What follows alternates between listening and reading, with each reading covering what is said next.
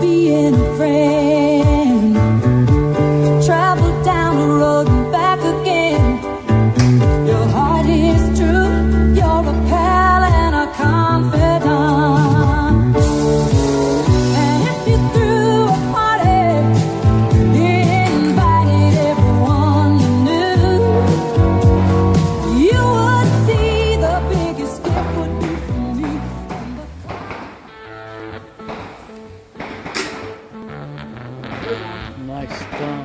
nicely done.